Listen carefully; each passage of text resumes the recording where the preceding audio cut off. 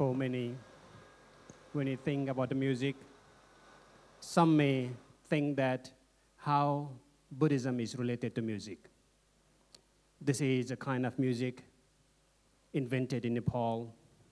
This is a kind of music trying to bring the strength of music in order to be a part of uplifting your heart and spiritual development. Sursudha is the world renowned musical band who has performed over 200 performances all over 35 different countries in different occasions.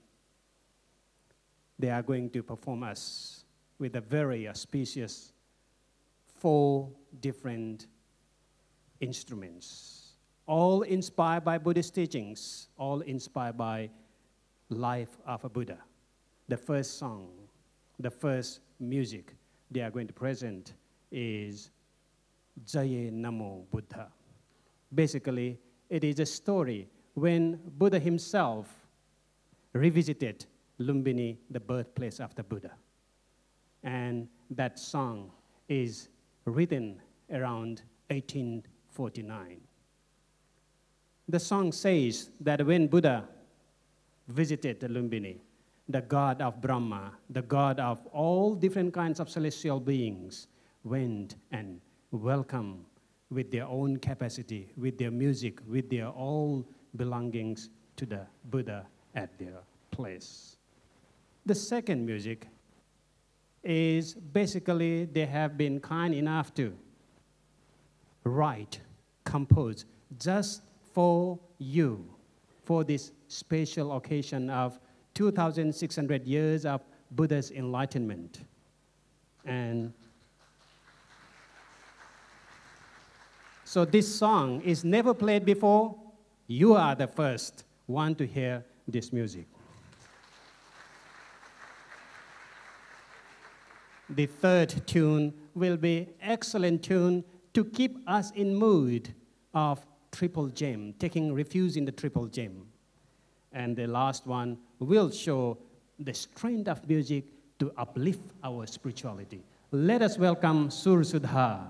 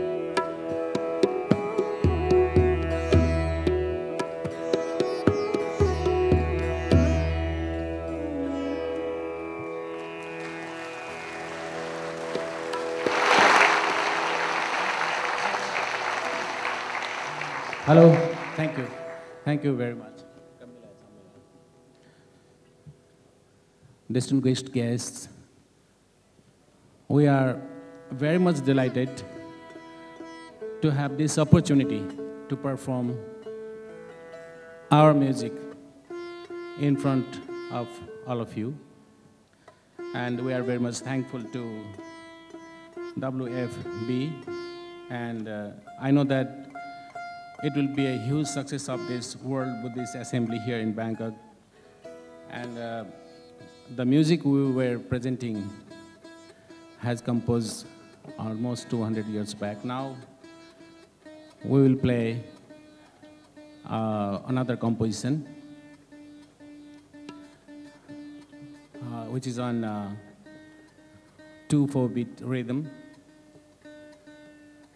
In fact,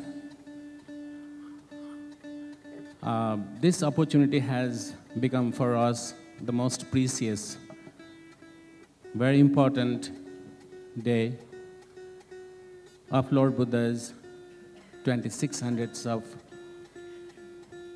Enlightenment Day. And um, we are very, very thankful for having this opportunity.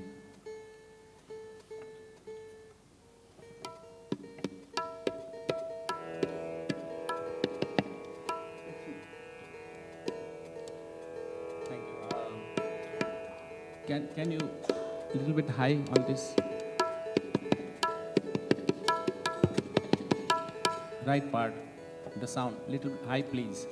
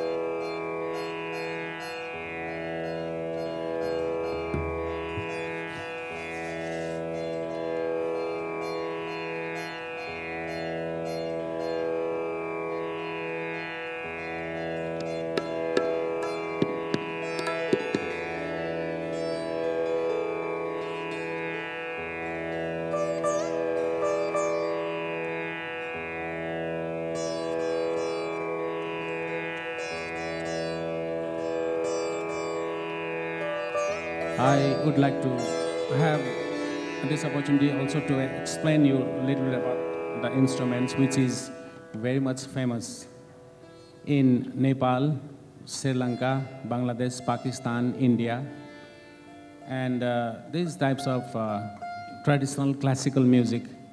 We believe that it's very much relevant, related, or concerned with meditation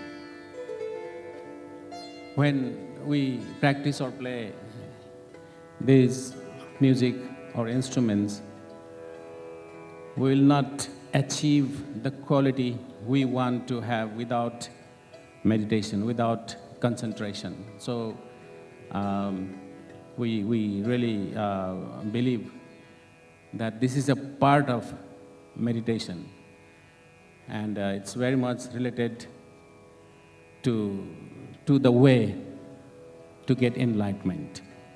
Because the highest quality of our distinguished guest, I would like to express you my experience for playing music more than 35 years. Whenever we come across with the higher quality in music, we also feel, we as a musicians also feel we are very near to God. Very near. Because in that particular point of time, we don't get tired of playing, I think, even hours and hours. We really uh, do not get tired. It's, then the music is played not by this hand, it's, it's by mind, it's by heart. Thank you for your patience. Thank you very much.